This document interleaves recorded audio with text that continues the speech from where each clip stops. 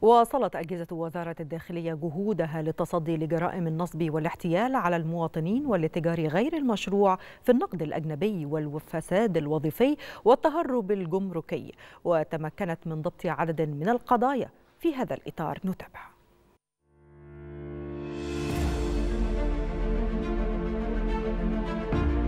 في إطار جهود أجهزة وزارة الداخلية لمكافحة الجريمة بشتى صورها لا سيما جرائم النصب والاحتيال على المواطنين والتهرب الجمركي والفساد الوظيفي وغسل الأموال والإتجار غير المشروع في النقد الأجنبي.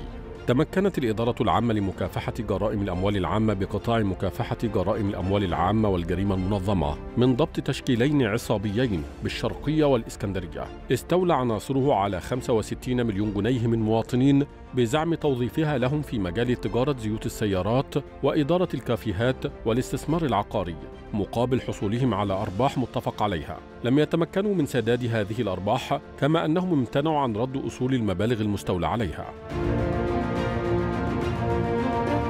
وتمكنت مديرية أمن الغربية وفي ذات الإطار من ضبط أحد الأشخاص قام بالاستيلاء على 20 مليون جنيه من مواطنين عن طريق إيهامهم بأن شركته متعاقدة مع إحدى القرى بالساحل الشمالي وأنهم يمكنهم شراء حصص ملكية في المشروع ينتفع بها بنظام ال time share.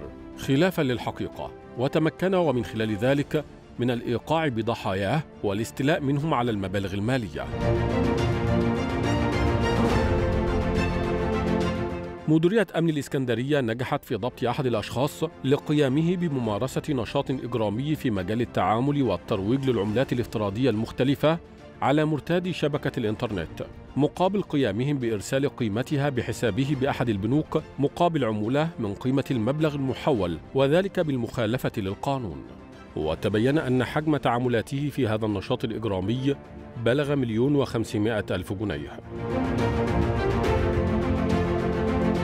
مديرية أمن القاهرة نجحت في ضبط أحد الأشخاص لقيامه بالإتجار في الأدوية المهربة جمركيا وغير مسدد عنها الضرائب المستحقة وإنشائه مجموعة عبر إحدى تطبيقات التواصل الاجتماعي للترويج لتلك الأدوية. وبحوزته تم ضبط كمية من الأدوية ومستحضرات التجميل.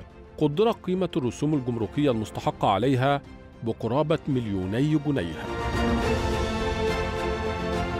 وعلى صعيد ضبط قضايا الرشوة واستغلال النفوذ تمكنت الإدارة العامة لمكافحة جرائم الأموال العامة من ضبط موظف بإحدى الوحدات المحلية بالغربية. استغل موقعه الوظيفي وقام بتمكين شخصين من القيام بأعمال البناء والاستيلاء على جزء من الطريق العام وهو ما أدى إلى إهدار المال العام بقيمة ثلاثة ملايين جنيه فضلا عن تربحه من وظيفته وتربيح الغير.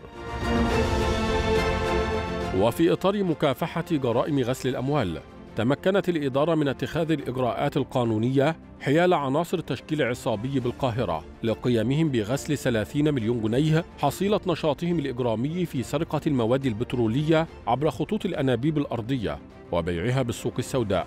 عن طريق إجراء عمليات سحب وإيداع لتلك المبالغ بمختلف البنوك وتأسيس أنشطة تجارية وشراء سيارات ودراجات نارية.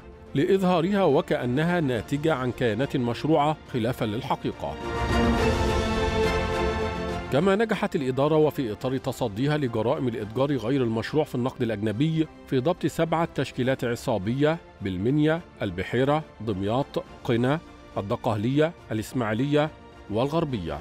لإتجارهم غير المشروع في النقد الأجنبي حيث بلغ حجم تعاملاتهم في هذا النشاط الإجرامي قرابة 54 مليون جنيه.